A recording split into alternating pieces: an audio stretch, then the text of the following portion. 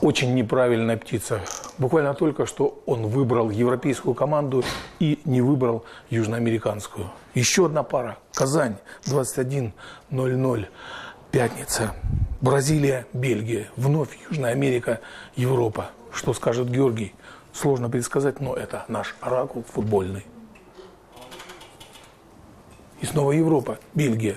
Неужели весь южноамериканский континент после пятницы будет плакать? Потому что только что выпала из игр одна команда.